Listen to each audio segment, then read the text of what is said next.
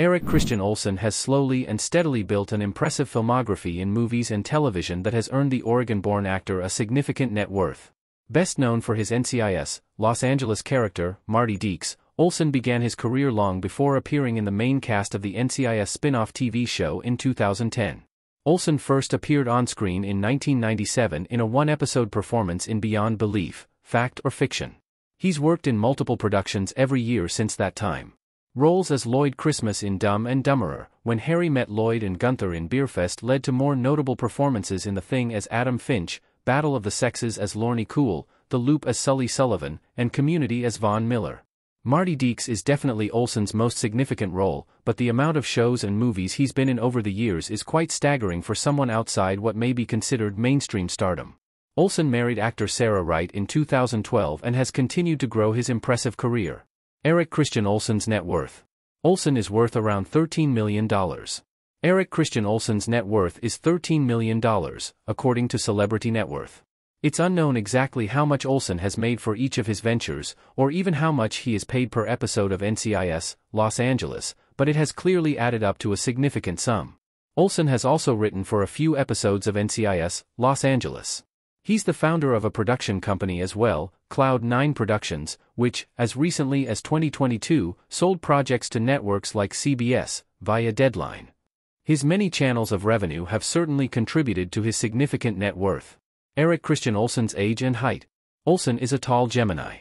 Eric Christian Olsen was born on May 31, 1977, making him 47 in the summer of 2024. His height is debated among trusted internet sources.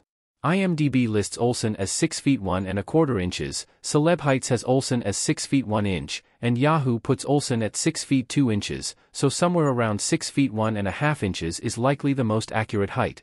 Olsen's zodiac sign is Gemini, an air sign that takes the shape of twins. According to Allure, Geminis are constantly juggling a variety of careers, passions, and hobbies, much like how Olsen simultaneously works as a writer, actor, and producer. Geminis are also said to be most happy when they can move from one idea to the next. This is well in line with Olsen's packed filmography. In 2010, Olsen appeared in seven different movies and TV shows. He has no problem flitting from one path to the next. Olsen's close relationship with his older brother is also a sign of the twin aspect of Gemini. Eric Christian Olsen's older brother David Paul is his stunt double and married to his TV wife.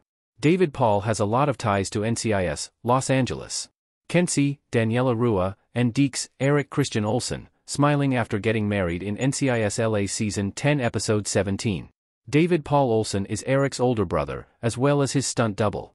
David is a professional stunt performer whose work has appeared in numerous movies and television shows, including Big Little Lies, Santa Clarita Diet, The Nun, and Westworld. Most notably, he's been a part of 71 episodes of NCIS, Los Angeles as his brother's stunt double.